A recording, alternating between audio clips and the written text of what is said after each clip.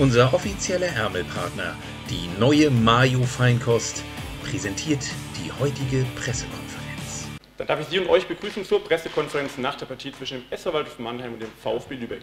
Von 9.368 Zuschauern endet die Partie mit 2 zu 2. Auf dem Podest die beiden Cheftrainer Rüdiger Rehm und Lukas Pfeiffer. Herr Pfeiffer, ist der bis zum Spiel? Ja, vielen Dank. Ähm, hallo zusammen.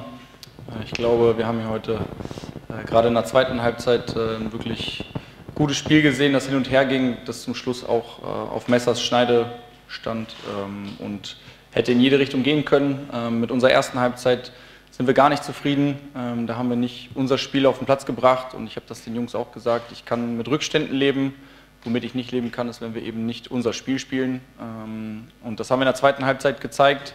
Da wurden wir auch noch mit einem Punkt belohnt am Ende. Äh, von daher sollte das auf jeden Fall Selbstvertrauen geben und auch Kraft jetzt für die nächste Aufgabe in München. Ähm, euch wünsche ich auf jeden Fall alles Gute, viel Erfolg und äh, Ihnen allen ein schönes Wochenende. Danke.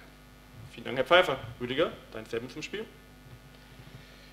Ja, ich glaube, äh, dass wir eigentlich ganz gut ins Spiel gekommen sind. Natürlich haben wir uns insgesamt alles ein bisschen anders vorgestellt. Äh, die erste Halbzeit, mit der war ich sehr, sehr zufrieden natürlich. Äh, wir haben vieles von dem umgesetzt, was wir umsetzen wollten, was wir im Endeffekt auch uns vorgenommen haben. Ähm, hatten dann kurz vor der Halbzeit, nachdem wir in 1-0 Führung waren, kurz vor der Halbzeit ein ähm, bisschen Glück, beziehungsweise eine super Abwehraktion von Tim Sechelmann, der den Ausgleichstreffer verhindert.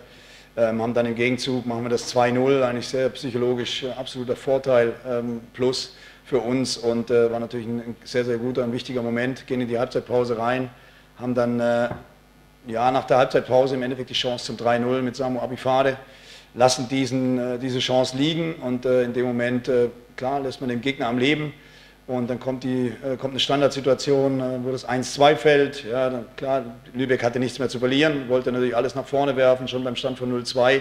Größeres Risiko gegangen, wir haben was zu verlieren, das ist typisch dritte Liga.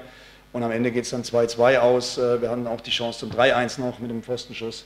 Aber das ist halt, wenn du den Deckel nicht drauf machst, ist ein Spiel immer noch offen. Und am Ende ist es leider so gekommen, dass wir eben nur mit dem Punkt jetzt leben müssen ja, werden die Mannschaft weiterhin vorantreiben. Ich äh, denke, wir haben sehr, sehr gute Ansätze gesehen, aber ähm, es ist natürlich nicht möglich, dass wir jedes Mal dann diese zwei Gegentore schlucken. Da müssen wir gehörig äh, dran arbeiten, müssen gucken, dass wir das verhindern und dann eben oder eben das 3-0 machen. Ich glaube, dann äh, wäre Lübeck heute nicht mehr zurückgekommen. Danke. Vielen Dank, Rüdiger. Gibt es Fragen der anwesenden Pressevertreter auf Handzeichen? Will mir das Mikrofon kurz reichen? Dann Thorsten Hof, bitte für den Mannheimer Morgen. Ja, vielleicht an beide Trainer. Die Szene zum 2 zu 2 war ja dann relativ umstritten. Vielleicht Ihre Einschätzung dazu. Ich weiß nicht, ob Sie schon auf die Fernsehbilder geschaut haben. Da müssen wir einen Schiri herholen, weil wir können ja die Regeln nicht. Also wir sind, äh, ich, bin, ich bin nicht äh, in der Regelkunde wahrscheinlich durchgefallen, obwohl ich es bestanden habe, aber ich habe es äh, vermutlich nicht geschafft. Oder jetzt zumindest würde ich es nicht mehr schaffen. Mehr gab es dazu nichts zu sagen von meiner Seite. Kann sich jeder sein eigenes Bild machen ja, ich stehe auch 60 Meter weg, bin mit Jubeln beschäftigt, freue mich übers Tor. Ähm, die, die Diskussionen, die dann aufkommen, die lassen wir laufen. Da beteiligen wir uns natürlich nicht. Ähm, am Ende freuen wir uns einfach über das Tor und bewerten müssen das andere. Gibt es weitere Fragen? Das ist nicht der Fall. Dann wünschen wir den Gästen aus Lübeck eine gute Heimreise und viel Glück in der englischen Woche und wir sehen uns dann wieder am Dienstag in Dresden. Bis dahin.